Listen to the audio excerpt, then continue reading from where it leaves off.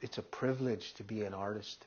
I, I, I, I know, I know that because it's, it's not something that, you know, uh, not, not something that everybody, anybody would, would really dare to do unless they were absolutely sure that that's what they wanted because it is a life. It's your life.